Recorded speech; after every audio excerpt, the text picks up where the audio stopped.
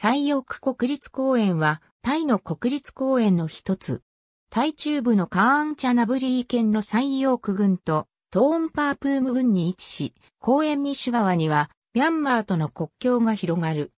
サイヨーク国立公園はバンコクから比較的近いことから首都圏からの観光客が多い。また、世界遺産であるトゥンヤイファイカーケン野生生物保護区に近く泰緬鉄道で大量の死者を出したヘルファイアーパスにも近いことから外国人の観光客がこちらにも流れ比較的多いのが特徴となっている。西洋区国立公園のあるカーンチャナブリー県北部は大規模な開発が行われなかったことから国立公園や野生動物保護区などが分立する地帯となっている。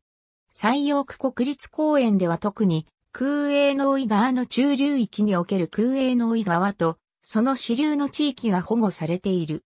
気候としては12月から1月の寒気には最も気温が低くなり、降水量も年間を通して激減する。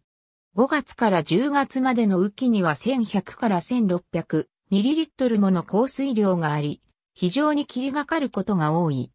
森林の分布は乾燥常緑林がミャンマーとの国境地帯を中心に4割程度の面積を占め、空営の多い川側を中心に落葉樹根高林が広がりこれが全体の5割を占めている。残る1割のうち、公園東部に点々と東南アジア特有の熱帯雨林が広がるほか、最奥の井のみ、竹林のみの森が広がる。地質的には一連のナムトック写真を見ればわかるように、石灰質の土壌が多い。中には、鍾乳洞もある。歴史的には1880年に、チュラーロン高温大王がこの地を訪れて、水浴びを体験している。この時に撮られた写真は現在でも残っている。この時、ラーマ5世は、最陽区の自然に感動し、兄弟であり、当時の文化人であったナリット親王にこの自然を称える曲の作曲を依頼した。これが現在でも太鼓天楽曲として名高い仮面、最陽区である。また、太平洋戦争時代の遺産も抱えており、例えば対面鉄道建設時の旧日本軍の台所や鉄道の撤去後なども残る。以下のうち上部の二つは公園管理所の近くにあるものである。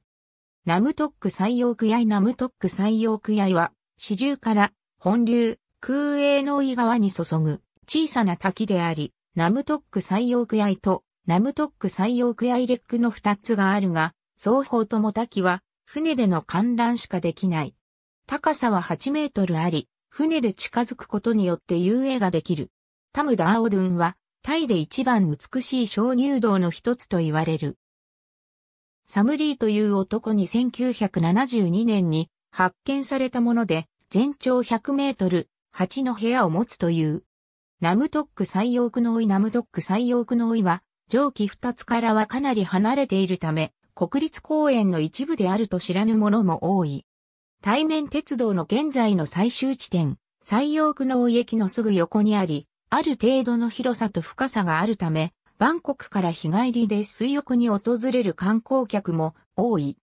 田村アーは公園管理所よりもどちらかといえば、ナムトック最陽区の追いに近いが、公園を出て大きく回り道をしなければならない上に、道が舗装されていないため非常に訪れる人は少ない。